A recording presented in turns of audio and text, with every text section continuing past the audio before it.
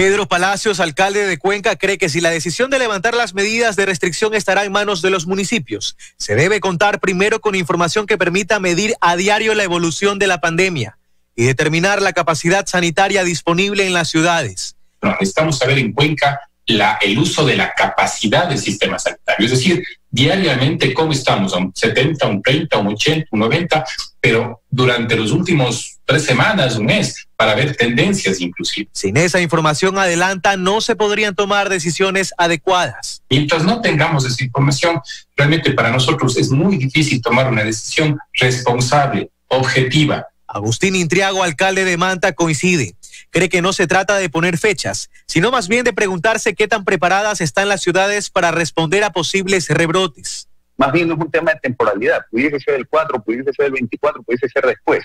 Es cuando estemos listos, primero, para que la ciudadanía pueda comprender cuál es su rol también. Por otra parte, desde Babahoyo se adelanta que el 4 de mayo las restricciones continuarán.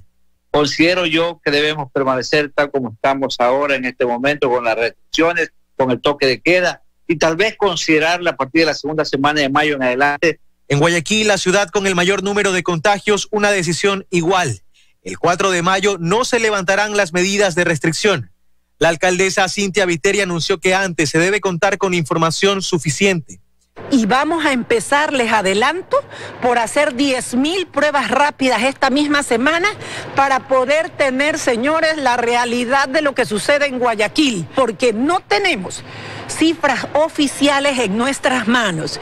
Luego de esa radiografía, nosotros diremos a la ciudad de qué manera y desde cuándo puede irse retomando las actividades en la ciudad. En el marco de esta decisión delegada, reiteró sus exigencias al gobierno central.